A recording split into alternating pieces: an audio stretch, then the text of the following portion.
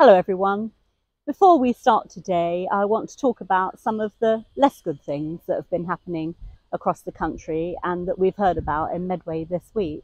I've been really sad to think about the unrest on our streets, the thuggery and violence and unkindness that's been directed towards some of our diverse communities. And I want to start by thanking uh, the police and our council officers who've been supporting the police keeping everyone in Medway as safe as we can.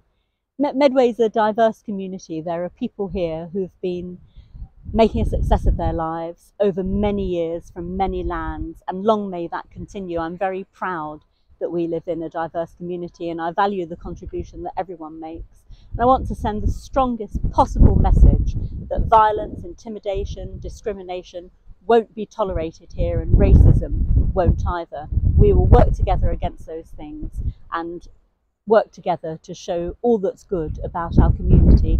And I think it's important that we remember together as well where this started. This started with the massacre of children in Southport, and that community will be recovering and coming together for a long time.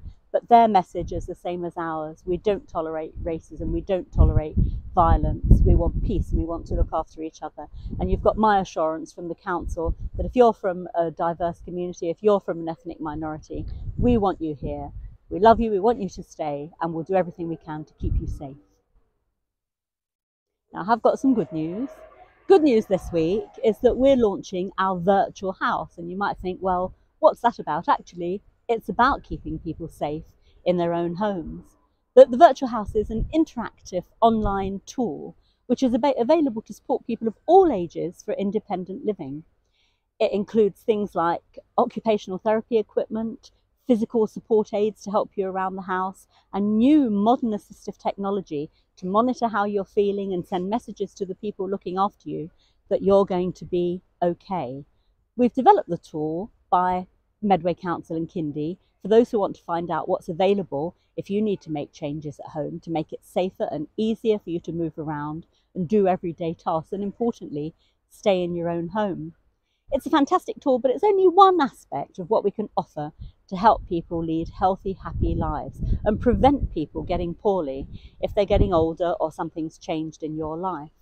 There are care services, meals on wheels for people who struggle cooking for themselves, alarm systems to raise an alert for those needing help. There's so much available, along with our lovely human social care and care staff who work with us all through the year in your homes, in care homes, and in other settings to make sure that if you need help, you can get exa exactly what you need. There's a wealth of information on how to deal with loneliness and other issues that might help people living on their own.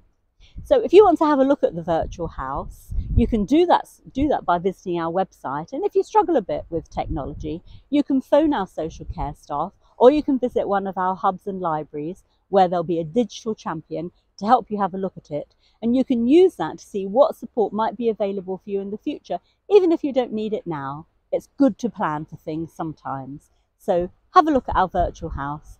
Think about how we want to keep you safe and independent. And look, I want you, everybody in Medway, to have the best modern technology they can. And I'm looking forward to even more developments. But this is the first of many, so give it a try.